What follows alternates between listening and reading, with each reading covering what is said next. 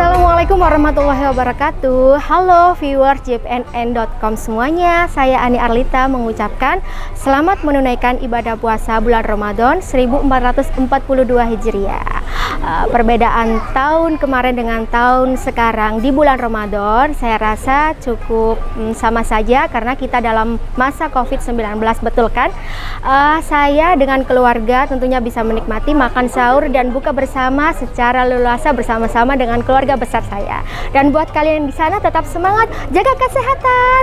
Yuk!